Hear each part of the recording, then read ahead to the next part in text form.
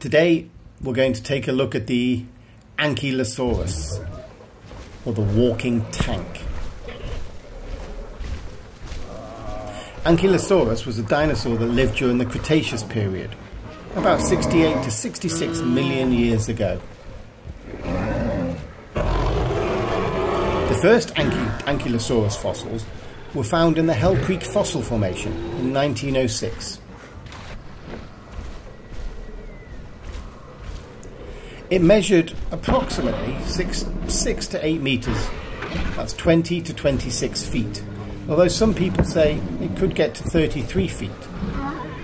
It would have weighed between 4 to 8,000 kg.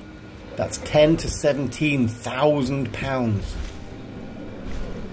Ankylosaurus was a herbivore, which means it ate plants and bushes.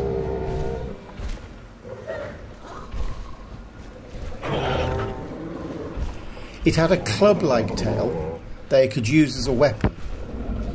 This thing was about two feet across. The bony club could be two feet long, 1.5 feet wide, and 8 inches tall.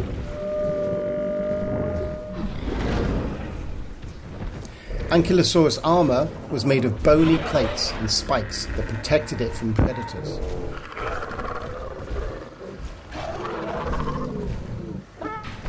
It was likely to need about 130 pounds of food every day.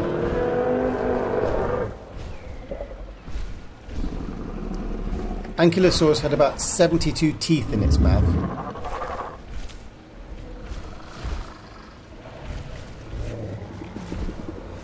Ankylosaurs seemed to live together when they were young, but there's no evidence they lived in groups when they were adults. It also had four horns on its head.